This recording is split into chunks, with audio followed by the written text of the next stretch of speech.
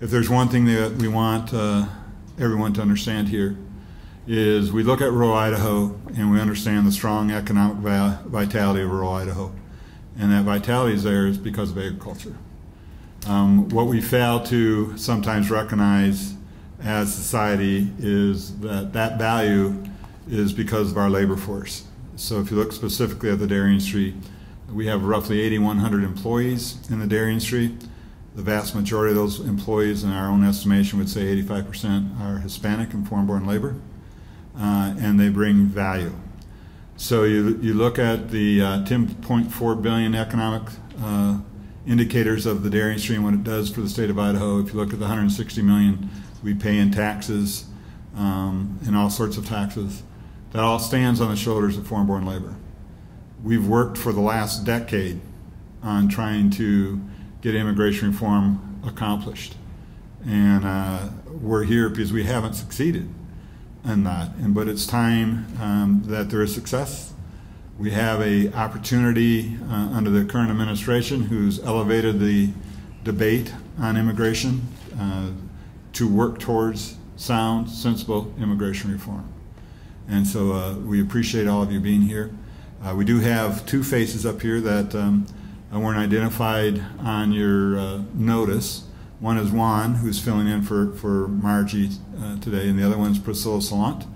Uh, Priscilla has done a lot of work on looking at the uh, value of uh, foreign-born labor and the economic impact, and she's going to explain a little bit about that study. So thank you very much again for joining us.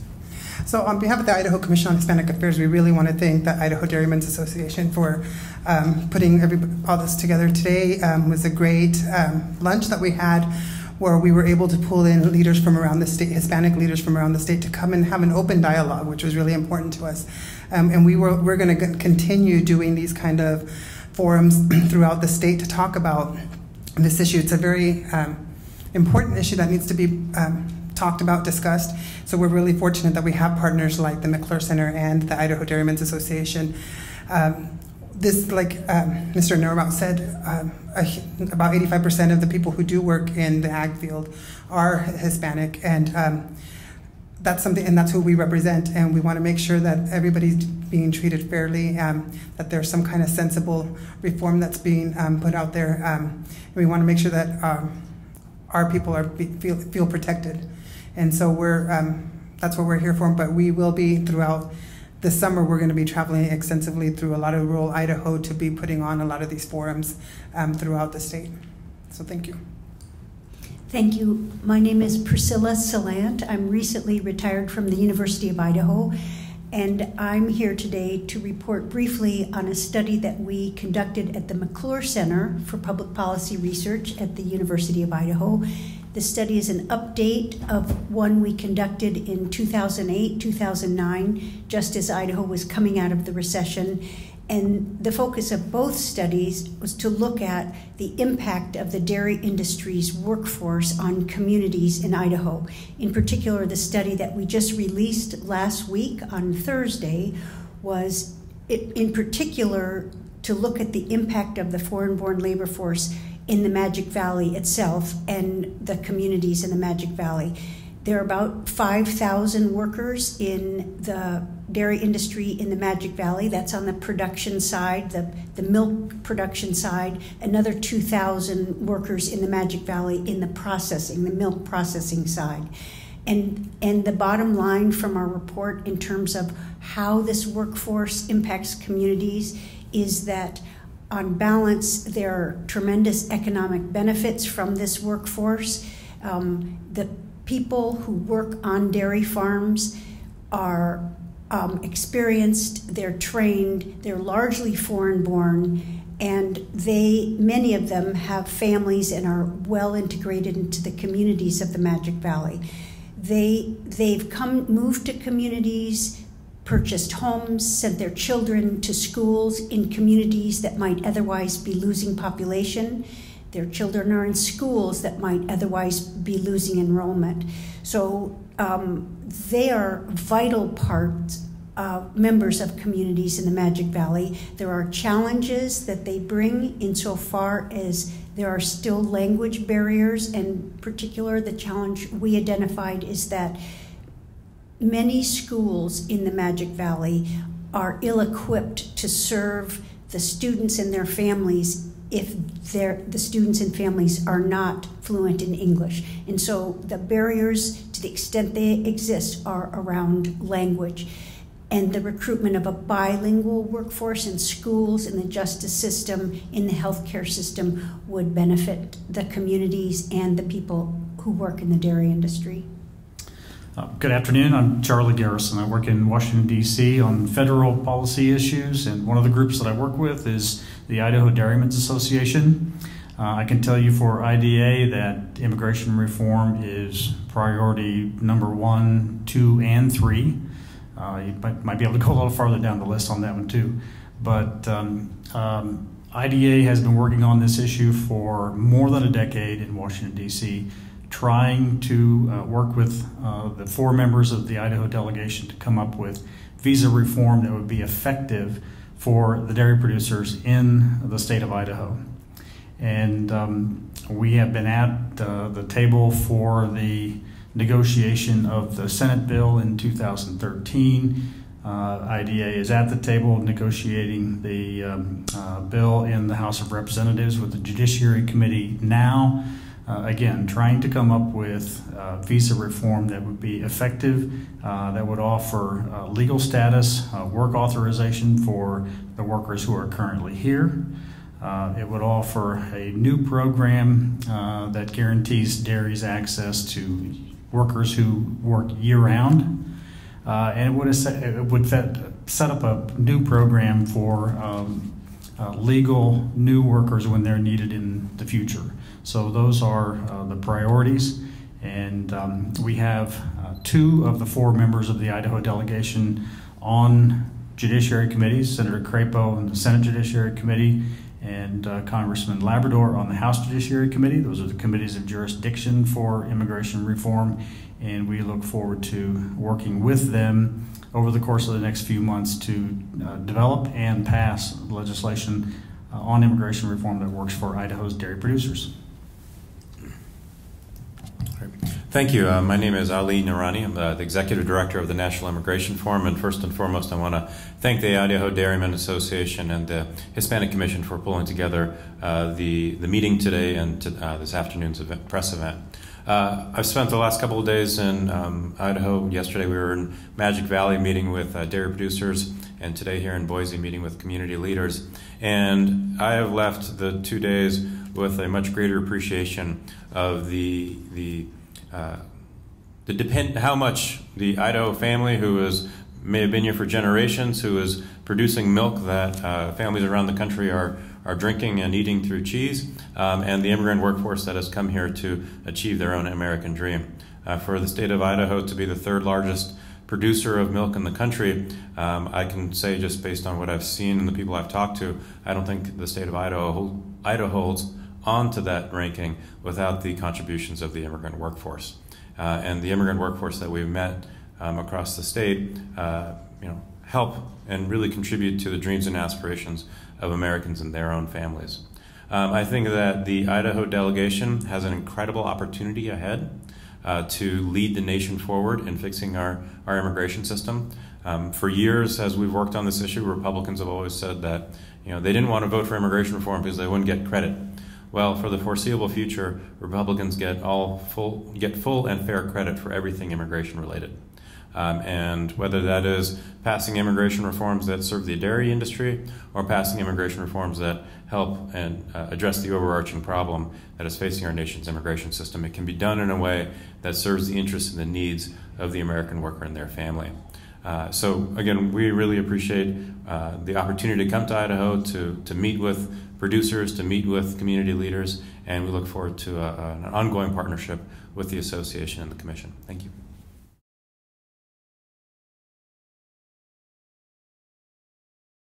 So I think we'll both address it, Sean, but I'll, I'll start with Juan, and then I'll anchor that from what we see from our producer side. there's a lot of fear right now um, amongst our community statewide. Um, I was just reading um, that a lot of like celebrations that are coming up, like Cinco de Mayo events and stuff. It's gonna um, have a lot less people attending because of that fear.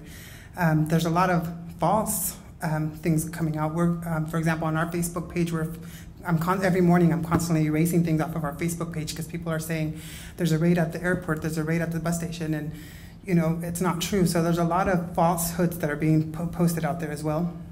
And so um, we've our agency has met with um, Boise PD and other um, police departments, and they're telling us nothing's going to be happening anytime as far as raids um, here soon. So we believe them. And so what we're really um, fighting right now is a lot of people putting fear into our community. So, to, to uh, tag on to what Juan said, I was asked that same question yesterday, it's only appropriate, obviously, that I give the same same answer as yesterday. I was asked on a scale of one to ten, what's the uh, how serious is the uh, fear level, and I said, well, it's out of ten. Um, and I think we should all anticipate that with all the rhetoric that we hear um, coming out of D.C., all the rhetoric that was in that campaign. Um, you can only anticipate that that fear is that high. So when you look at the fear, number one, um, it, it, goes starts with our employees, um, and and so it's a moral fear more than an economic fear. Obviously, cattle. Uh, unlike construction jobs, where if there's not labor there, you set down your hammer and you come back the next day. Uh, cattle have to be fed; they have to be milked every day, 365. So you have that economic fear, but it's more the moral fear. Um, had one one uh, labor on one of our dairies uh, in a previous incident came up to to the uh, owner of the farm, and uh, to the best of our knowledge, all of our labor force is legal. They have all the proper documentations that we can assess. But he he asked them. Uh, he said, "If my wife and I are deported, are you going to take care of my children?" So I think you have to realize the the uh, moral side of this equation and the amount of fear that brings to people that I don't think any of us can understand unless you're put in that same position. So, from a national perspective, I would just say that um, you know the, the, president's executive orders have done a couple of things, um, and from a policy perspective, they have uh, called for a, a, real ramping up in, in immigration enforcement uh, uh, personnel and, and, and really, frankly, an elimination of priorities.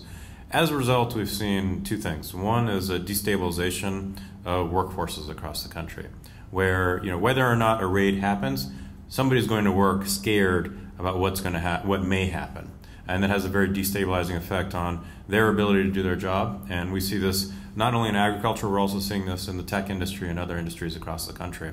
And the second is that it's also uh, the anxiety and the fear is also had a very having a very destabilizing effect on public safety. Um, when you have uh, victims of domestic violence, when you have witnesses to crimes not reporting those crimes, uh, um, the cop on the street can't do their job. The cop on the street depends on having a trusting relationship uh, with the entirety of their community, documented or not, in order to fulfill their mission to serve and protect their city or town. Uh, so, just the destabilizing impact um, of these executive orders um, and the rhetoric, I think, is having uh, public safety as well as a, an economic impact. Uh, this is an important message to deliver uh, to the community, to our workers. So I wanted to add my two cents here. The administration uh, is adamant that their um, priorities are individuals who are deemed a threat to public safety or national security. And everything we've seen so far uh, says that that's true. The um, workplace has been the site of detention a, a, time or two, but there's no, no evidence to indicate that workplaces are some sort of target. Um, and that's important for people to know that it's safe for them to show up to work each day. And they don't have to worry about their place of employment being a target for enforcement action.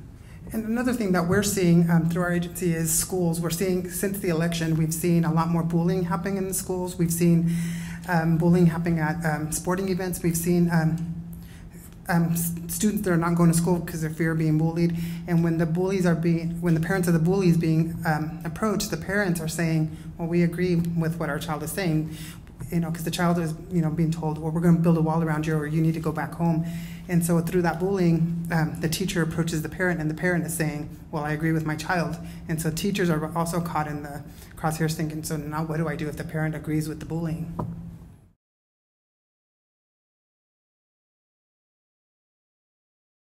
So I think the purpose of what we're doing is, is to, to reach everybody who might be in the middle. Um, you obviously have those who understand. You have those who might understand and be opposed. Um, I, I would have to say that uh, part of what we need to do is elevate the debate so that instead of immigration being a back burner issue in Washington, D.C., it's a front burner issue. Um, you know, the fact that immigration won't be looked at until the fall because uh, health care is first, taxes are second. We hope to get to it uh, in the fall. Uh, it's a little sad. I mean, we've been working on this for decades. We, we uh, in Obama's first administration, uh, he was going to do immigration and health care. Well, he only got health care done, and after that, he lost he, he lost the majority in the House side, so he, he didn't move into immigration. So I, I, think our delegation members have to understand, and that's part of what we're trying to do. Part of why we delivered the petitions to them. It's part of why we are uh, working so closely with the Hispanic Commission that we haven't done before, is to make sure enough pressure and continuing pressure is put on our delegation members so it elevates uh, immigration reform to the level we feel it needs to be elevated to. Well, I, I think that um, you know, by and large, the the nation. The nation's immigration debate, when you look at it in terms of fixing the problem, it seems to always be driven by Democrats. Um, I think that the Idaho delegation has an incredible opportunity because uh, it's a state that increasingly depends on Im- immigrants in order to create uh, jobs and, and a prosperous future for American American workers and their families in Idaho. Uh, so, as one of the most conservative states in the country, that you know whose economy is so closely linked to the immigrant workforce, I think that you know this delegation can you know really kind of can really change the debate. Um, I think that yes, it will take a, a, certain amount of political courage on their part, um, but you know what? Good politics makes for very good policy, um, and or maybe it's the other way around. You know, good policy makes for very good politics, um, because you know the best thing that can happen in DC these days is a big surprise and a big surprise that leads to a, uh, a, reformed immigration system. And I just can't think of a delegation in a better position to surprise Washington, D.C. with um, some real political leadership. That's really true. When you, and I mentioned that, that two of the four are on the committees of jurisdiction. Uh, Raul Labrador is not only on the committee of jurisdiction, he's vice chairman of the immigration subcommittee of the House Judiciary Committee. Uh, the other House member, Mike Simpson, has a lot of seniority. He's a um, chairman of the subcommittee on the Appropriations Committee. Um, Senator Crapo is on the Judiciary Committee. Uh, Senator Risch knows agriculture as well as anybody in the state knows agriculture. So the, the Idaho delegation is uniquely positioned to understand the issue on behalf of agriculture, on behalf of dairy farmers in Idaho, and um, uniquely positioned to be helpful because of uh, their roles in the House and the Senate to be helpful.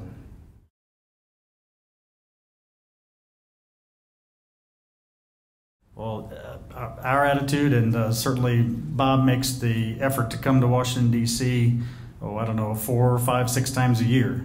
And immigration reform is always uh, the first priority when he's meeting with um, all of the uh, members of the delegation. So it, it's important for us, it's important for everybody across the country to keep the pressure on your elected officials, keep the pressure on your folks in Washington. You know, immigration is uniquely the territory of the federal government. Only the Congress can fix this issue. And so that's why it's so important for IDA to stay engaged with uh, their two senators and two House members. But it's also important for us to keep working with uh, other states, other areas of the country, so that um, uh, the people we work with and organizations like IDA keep the pressure on uh, their delegations as well. I, I would just say that um, you know, as I've learned about the the Idaho dairy industry, a couple of things. So first, some some numbers as as I remember them. Um, there are just under 600,000 uh, dairy dairy cows here in Idaho. That means that every day there are nearly 600 cows that need to be milked. That that milk needs to be delivered, um, and the unemployment rate in the Magic Valley is around three percent. So it's an incredibly tight labor market with an incredible demand for skilled labor to get this product to market. So I think, from our perspective, you know, the question I would ask, I would ask of the Idaho delegation is how will they look their dairy producers in the eye and say, you know what, I can't do anything to help you survive. Um, because without immigrant labor, without a dynamic uh, visa system that meets labor needs within the dairy industry, um, these are farms that are really going to they're really going to struggle in the days and the years ahead. And I think it's the up to the congressional delegation of Idaho to lead the way forward. So I'd like to tie together two questions that you asked. One is who needs to be reached, and also why is Idaho in a unique position right now? In fact, I think that members of the general public need to be reached.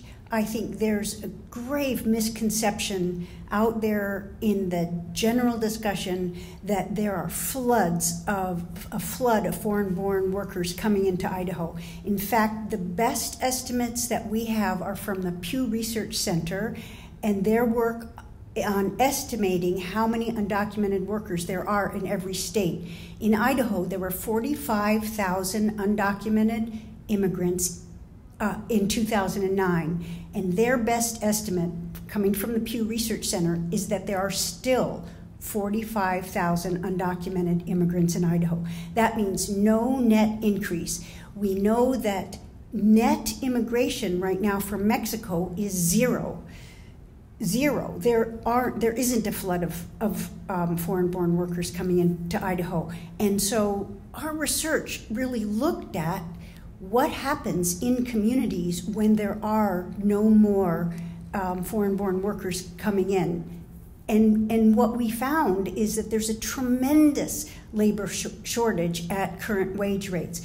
The foreign born workers are taking jobs, willing to work at jobs that native born workers are not willing to take at current wage rates. And so you see the labor shortage playing out in not only in dairy but in other um, parts of the economy in the Magic Valley. And so you would think there'd be upward pressure on wages, but dairy is a globally competitive industry and the margins as best as we could see are not large enough to absorb major increases in the prevailing wage. So they're really caught in a bind. And if the industry is caught in a bind, then the communities of Idaho are caught in a bind because the foreign born workers live in the communities of, of the Magic Valley.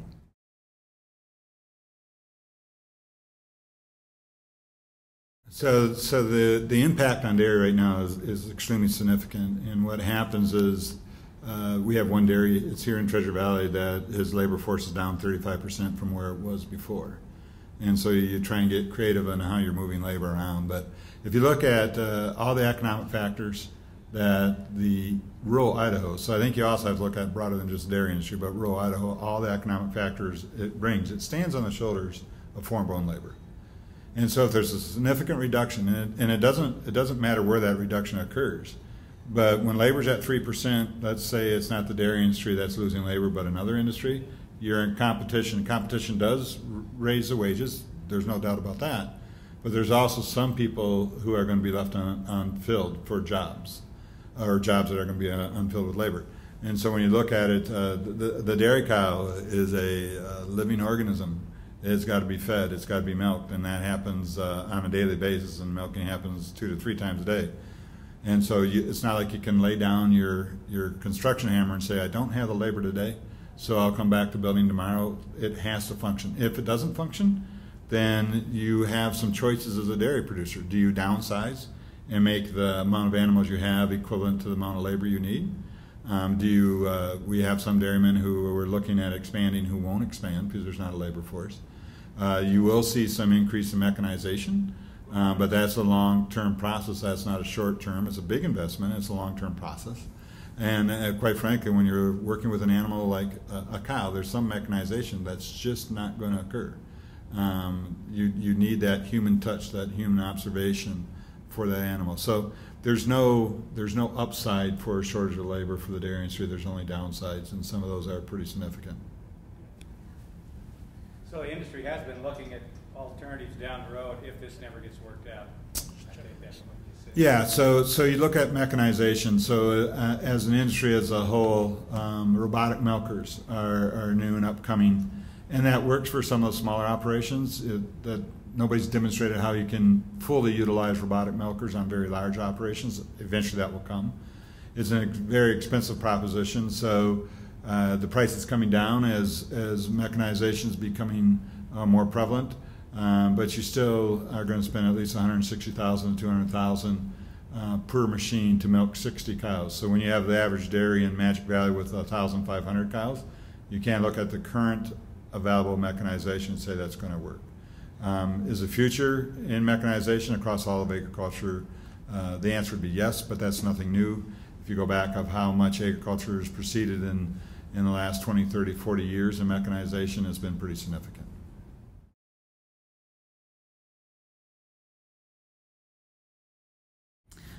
talking about percentages, uh, whether whether something might might actually be able to happen. You know, there's um, there's room for a deal there.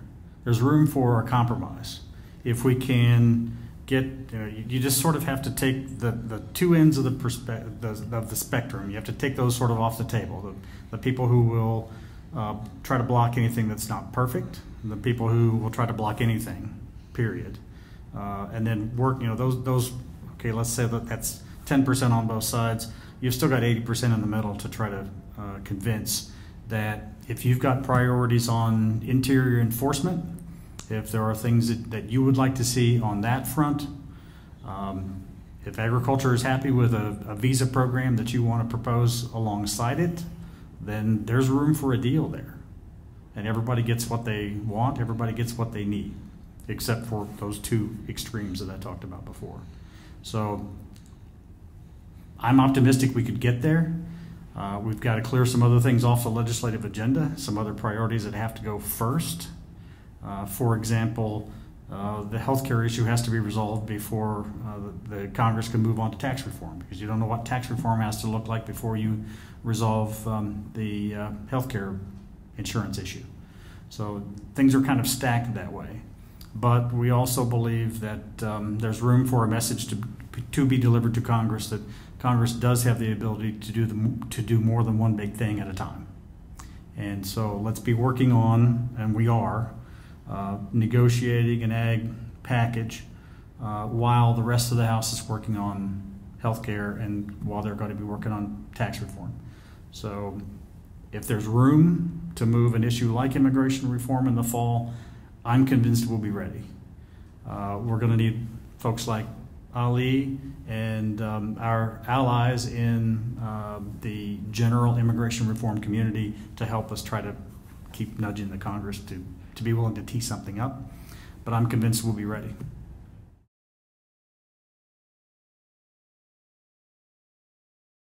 I, I don't do percentages like that.